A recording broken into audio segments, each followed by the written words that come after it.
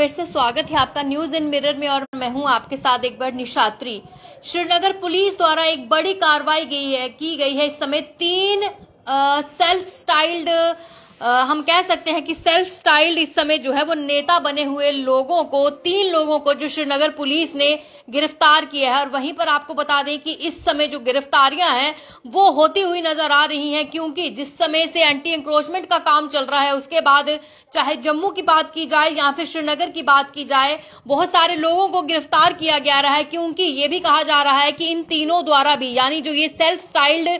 Politicians खुद से ही बने हुए यानी स्वभ्यूवी नेता जिस तरीके से बने गए हैं, इनकी तरफ़ से जो है कुछ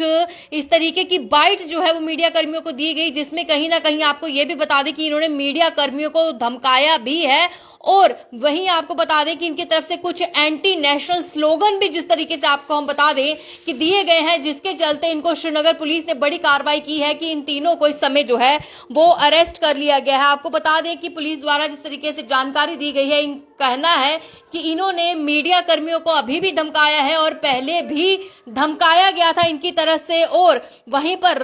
देश के विरोधी, यानी राष्ट्र के विरोधी भी, देश के विरोधी कल इन्होंने कुछ इस तरीके के संज्ञान मीडिया में दिए थे, जिसके चलते इन पर कार्रवाई होना भी संभव था, और अभी तीनों को गिरफ़्तार जो है वो कर लिया गया है। और पुलिस की बात करते हैं, श्रीनगर की पुलिस की बात करें तो उन्होंने आज ये दावा किया है कि श्रीनगर ज़िले में मीडिया कर्मियों को धमकाने के मामले में और देश विरोधी बयान देने के मामले में स्वयं भूमि नेता जो बने हैं, यानी सेल्फ स्टाइल्ड जो पॉलिटिक्स बने हुए हैं इनको जो है वो गिरफ़्तार कर लिया गया है। और वहीं पर आपको बता दूँ कि ये पूरी जानकारी श्रीनगर पुलिस द्वारा ट्वीट के माध्यम से उनके ही ट्विटर हैंडल पर दी गई है, जहाँ पर इन तीनों की तस्वीरें भी जो है वो ज़ाहिर की गई है, जहाँ पर इनको अरेस्ट कर लिया गया है। और वहीं पर आपको ये भी बता दें कि इन पर कोठीबाग थाना में मामला भी दर्ज कर लिया गया है। और इनके ऊपर जो धाराएँ लगी हैं, उनकी प्राथमिक जो संख्या है, वो zero five oblique two zero two three जो है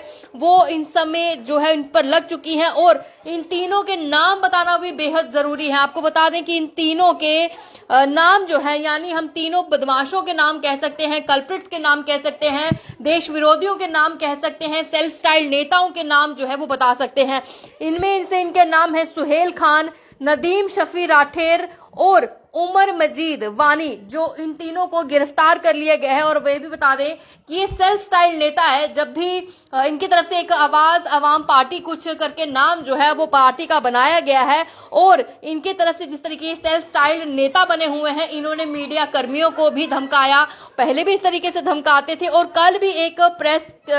वार्ता के दौरान जो है, इन्होंने देश विरोधी बाइट जो है वो भी दिया है यानी एक सम्मेलन था वहाँ पर इन्होंने देश विरोधी बाइट दिया है जिसके चलते आज इनको गिरफ़्तार किया गया है और कोठी बाग थाना में five oblique two zero two three जो कि प्राथमिक संख्या जो धारा है इन पर लगी है और इनको अरेस्ट किया गया है। आपको बता दें कि इस समय उन लोगों को कत, कते भी बख्शा नहीं जाएगा जो देश विरोधी कोई भी टिप्पणी जो है किसी प्रकार के भी करेंगे, क्योंकि जिस तरीके से ये खुद से सेल्फ स्टाइल है, ना तो इनका कोई बैकग्राउंड है और ना तो कोई ये नेता है। यानी खुद से ही ये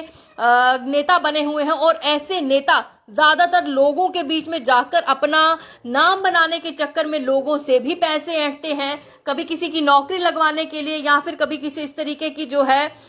जिस तरीके से लोगों को गुमराह करने में भी ऐसे सेल्फ स्टाइल्ड जो नेता है, उनका बड़ा हाथ रहता है। लेकिन आपको बता दें कि इस समय की बड़ी अपडेट ये है कि इन तीनों को एंटी स्लोगन जो है वो एक प्रेस वार्ता के दौरान देने में मीडिया कर्मियों को दो, जो है धमकियाँ देने के मामले में इन तीनों को गिरफ़्तार जो है वो कर लिया गया है। तीनों के नाम मैंने आपको बता दिए हैं। अब इन पर जो है कोठीबाग थाने में धाराएँ भी लगी हैं। आगे की कार्रवाई जो है वो पुलिस की तरफ़ से की जाएगी। फ़िलहाल तक के लिए मुझे इस अपडेट से दीजिए इजाज़त। नमस्कार।